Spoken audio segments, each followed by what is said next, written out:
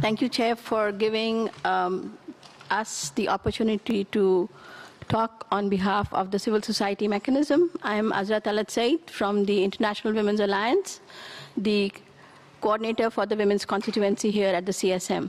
First of all, I would really like to thank Helen for her very powerful speech, for her very meaningful contribution to women's and girls' rights. And I really would like to also thank the Committee on Food Security for bringing a very strong women rights leader to this forum, and especially from the Pacific, where voices of women from the Pacific are generally heard not to the, to the amount that they should be. First of all, we would like to convey to the CFS the huge expectation, commitment, and engagement that the CSM women's grassroots organizations of smallholders, fisher folks, agriculture and food workers, landless consumers, indigenous people, pastoralists, urban food insecure, and youth demonstrated towards this process since its early beginning.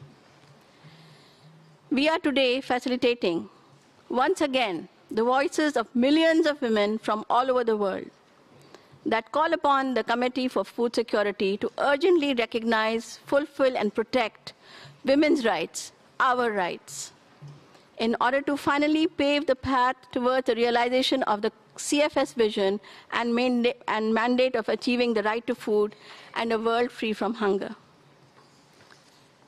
Patriarchy, feudalism, and the current neoliberal economic models are the three main root causes for women's subjugation and inequality, leading to food insecurity and malnutrition. Patriarchy, feudalism, and neoliberalism are grabbing our lands, our waters, our seed, forests and natural resources, our territories, our bodies, and our rights. They ignore the ancestral knowledge of our indigenous sisters, criminalize our struggles, leave violence against women unpunished, while opening the door to discrimination, conflict, crisis, occupation, displacement, and war.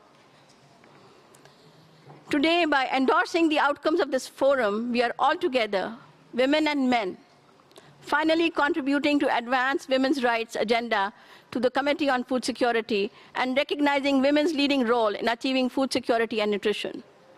By, by doing this, we are collectively and firmly recalling the spirit of the CFS Forum within this unique multi-actor space.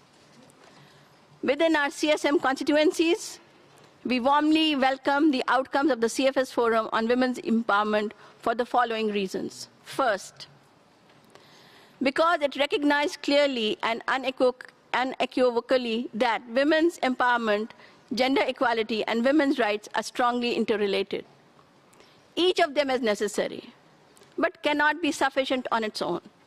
Finally, CFS has to recognize that the three elements need to move ahead together and from now on will not step back from this impo important achievement in its future policy outcomes and processes.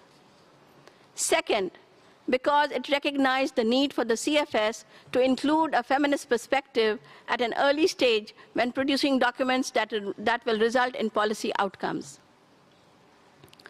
Third, it demonstrated that women are not only able to critically analyze the persistent barriers and challenges they face as political subjects, but are also able to propose concrete alternatives that do not oblige them to adapt to an agenda that does not comply with the full realization of their rights.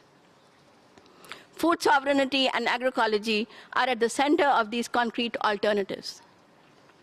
Fourth, it puts existing international policy framework at the center that can guide and orient without extending CFS mandate the work of this committee in the future. CEDAW and partic particularly the General Recommendation 34 are key examples of such a synergy that also respond to the function of convergence and coherence in the Committee on Food Security. It reaffirmed, fifth, it reaffirmed that the political will of governments and CFS members is fundamental to use and apply existing normative policy frameworks that contribute to the realization of women's rights, equality, and empowerment. We would also urge the CFS to further, uh, further strengthen and develop its monitoring function to ensure the achievement of its vision. Sixth, it highlighted that the Committee on Food Security can have a lively and vibrant debate among all its members and participants by courageously addressing controversial issues and naming root causes and drivers of change in an intellectually honest manner. We would also like to take this occasion to deeply thank the CFS chair, Ambassador Amira Gornass, for contributing with an inspirational attitude to the success to the success of this forum that has heard and finally listened to the voices most contributing to world food security and nutrition. Thank you, Madam Chair.